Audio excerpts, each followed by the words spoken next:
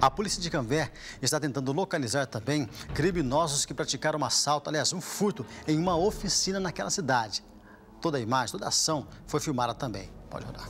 O crime foi praticado em uma oficina localizada no Jardim Santo Amaro, em Cambé. As imagens mostram toda a ação criminosa. A Polícia Civil já está à procura dos bandidos. São elementos que provavelmente não sejam aqui da cidade, é, efetuaram de ferramentas é, para arrombar a porta dessa oficina mecânica, da onde subtraíram vários é, aparelhos, lixadeiras, é, máquina de solda, e é nítido, dá para ver que utilizaram uma Fiat Strada de cor branca, também que para levar é, as ferramentas e essa máquina de solda.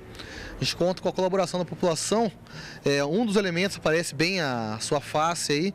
Quem conhece, que entre em contato com a gente, tanto aqui no primeiro DP de Cambé, no 3251 0106, quanto no 197 ou no 181 da Polícia Militar também. Ou seja, a polícia aqui de Cambé fechando o cerco contra a criminalidade, né?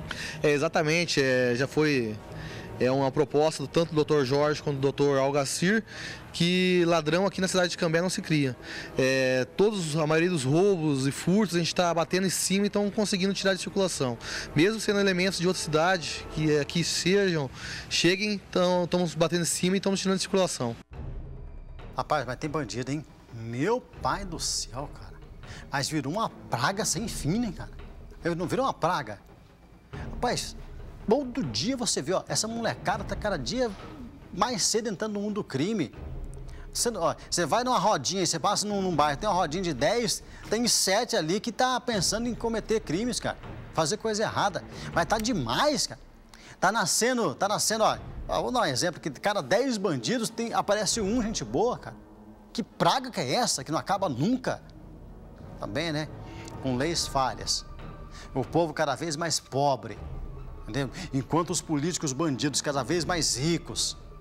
A molecada que já tem a cabecinha fraca falou, o quê? Vou ficar trabalhando enquanto eu pago imposto, aqueles bandidos meteram a mão no nosso país, afundando cada vez mais, o cara vai roubar da gente.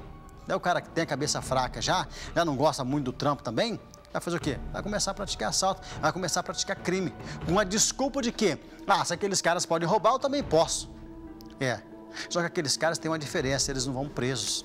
Eles roubam, roubam, arrebentam com o país, não vão presos. Entendeu? Que tinha que ser pelo contrário, né? Daí que tinha que apodrecer na cadeia.